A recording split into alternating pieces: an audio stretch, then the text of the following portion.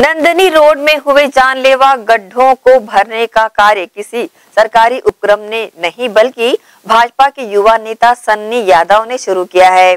वे अपनी टीम के साथ सड़क में हुए गड्ढों को मलबा डालकर उसे समतल कर रहे हैं, जिसमें उन्हें क्षेत्र के लोगों का सहयोग भी भरपूर मिल रहा है।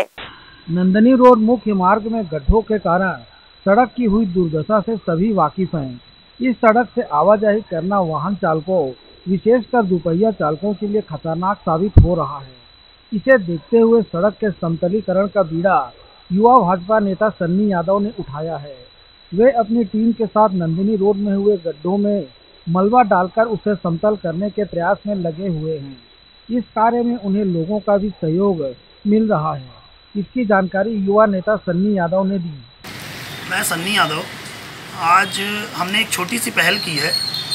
जिसमें कि आने वाली जनता जो नंदरी रोड में छोटे मोटे हादसे उस गड्ढे से हो रहे हैं तो हमने एक पहल की है कि ये कम से कम आज हम लोग ने 10 से 15 गड्ढे पाटे हैं, स्लैग डालकर।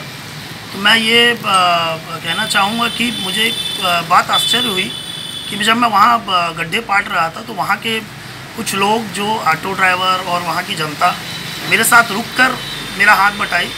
और ये पहल हम करते रहेंगे और आगे गड्ढे पाटते रहेंगे। और सरकार से मैं निवेदन करना चाहूँगा कि सरकार इस पर थोड़ा सा रोड पर ध्यान दे। छोटे मोटे हादसे हो रहे हैं, किसी की जान चली जा रही है, किसी को कुछ हो जा रहा है।